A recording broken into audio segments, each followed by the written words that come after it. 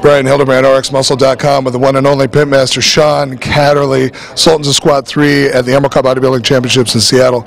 Um, 10 guys, 6 girls? Six ladies and ten guys.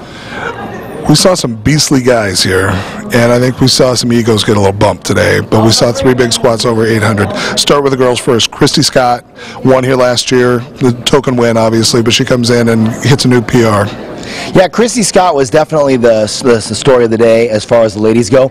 Um, what was neat for us with this particular show was this was the first time in seven years that we've decided to run a woman's only flight of lifting. Uh, in the past, we've invited one or two uh, ladies just to work in with the men, and they'd lift alongside the lightweights and, and the middleweights. Uh, this is kind of phase one of us moving into developing a, a true professional league for ladies. And, you know, we had a great turnout. We did it. It was a little bit spontaneous. Uh, I, I made the event announcements just about a month ago, and uh, we got uh, obviously a lot of the top talent from the Pacific Northwest. But what I also really appreciated uh, was we had women come as far away as Pe- Pennsylvania uh, just to participate in this show, and we had some good lifts. Uh, we had a couple gals take runs at well over twice their body weight, a few going as high as three times their body weight, and then when Christy Scott got to the show today, uh, she's dealing with a really bad head cold, and so we thought this would possibly be a lackluster performance from her in comparison uh, to what we've come to expect from the number one ranked lady powerlifter.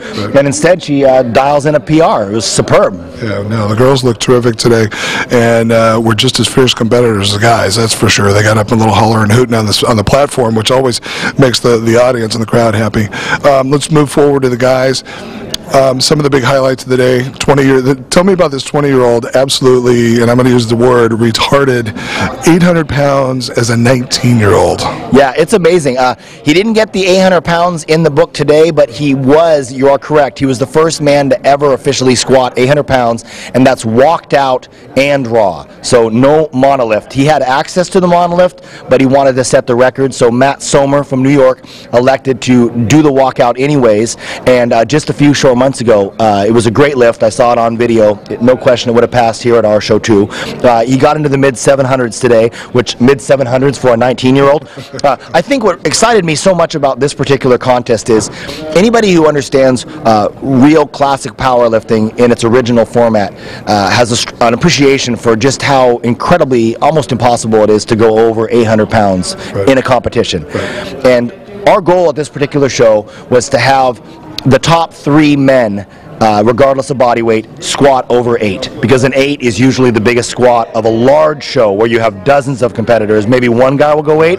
We reached that goal. We had three guys go over 800 pounds. So in my mind, that makes this one of the best squat shows uh, probably of the last four or, or, or five years that I've seen. Uh, the bar was really raised. How often have you gone to a squat contest where a guy who can dunk a 700 raw gets last place? Right. I mean, that says a lot. And then what was neat with the storyline is what hardcore powerlifting's about is we're trying to bring strongman and Olympic lifting and uh, heavyweight bodybuilding and powerlifters all together for crossover events. And that's what we achieved today at the show because we had going down for the final placings, it got down to Scott Weech, who got his start in raw powerlifting, but he's really turned pro as a strongman, and he even set the uh, Axle clean, clean and press record, uh, beating everybody who's everybody in strongman contests. Yeah, at four, 460 pounds. Yes, sir. And he's going against Randall Harris, uh, who not only was our 2012 overall champion,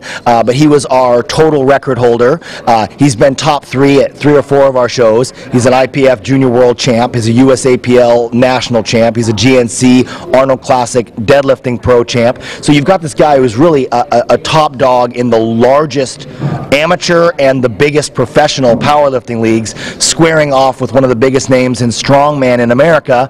And as you saw in the, in the lifting today, it's down to five or ten pounds is the difference between first and second, and 5 or 10 pounds is the difference between second and third. So we're actually seeing competition in powerlifting as opposed to what's become the unfortunate norm, which is 30, 40 guys come to a show and all but two of them get first place. So here, not only do we have a battle, and not only do we have first through 10th, but it was literally like a 5 or 10 pound difference between each of the placings. Right. Now, Randall Harris hit an, he missed a 780, I believe. Uh, I believe is I have to look at the charts. I'm sorry, but uh, my brain's a little scrambled after announcing. But he started out having a hard time with a 790, uh, and he got his opener, which was in the low sevens, and then he struggled for depth with the 790, and then he came back and dunked that 810 to get the silver. It was, you know, he's a he, he's a tough situation lifter.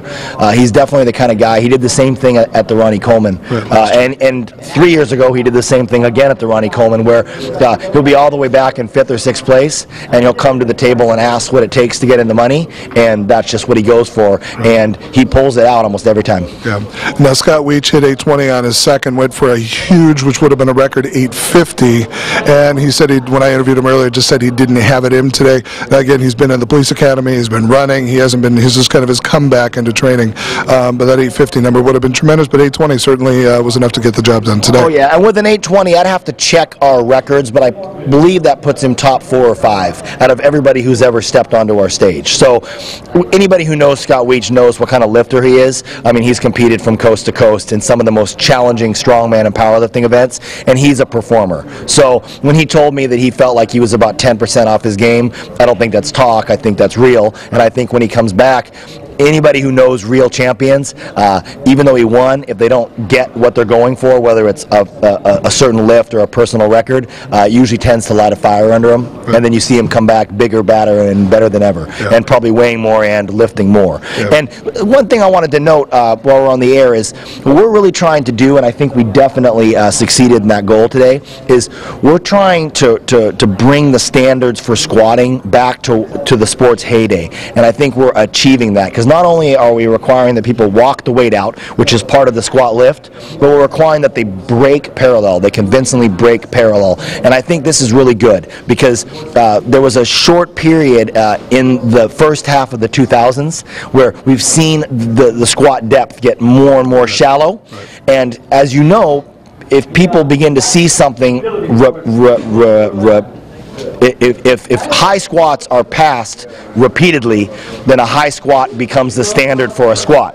And so now we've essentially reset the game once again, where now we can present this to the world, where again they're going to see what a legit competition squat looks like, and then that'll be excellent because that will then hopefully in, uh, encourage and inspire uh, the amateur organizations who are not currently enforcing squat depth to start doing so, which is going to be better for the sport as a whole. Yeah, absolutely. There's no doubt about that.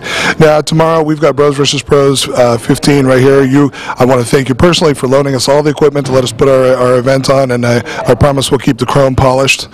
Um, it's going to be a tremendous day tomorrow. I'm so looking forward to it. And the good news is we're hoping we're not have to move all this equipment out of here to bring it back tomorrow morning. I'm with you on that. Yeah, nobody, Thank you very much. No, nobody wants to move this shit out of here like you. Like, to one time, and that's it. One in and one out. Um, Sean, thanks again. We appreciate you having us here. Um, Sultans of Squat 3 at the Emerald Cup Bodybuilding Championships here in Seattle, Washington. Um, huge weekend, just getting started. Powerlifting's done, and we're going to go downstairs and see the pretty girls in bikinis, which is Sean's favorite part. And that's right. For Sean Katterle, Hardcore Powerlifting, I'm Bryan Hildebrand, rxmuscle.com.